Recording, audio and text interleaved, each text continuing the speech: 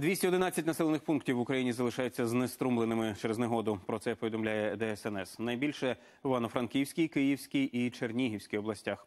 На Київщині у Бучі загинула людина. У столиці госпіталізували двох. Шквальний вітер зривав дахи, валив дерева. Кілька з них упало на будинки і автомобілі.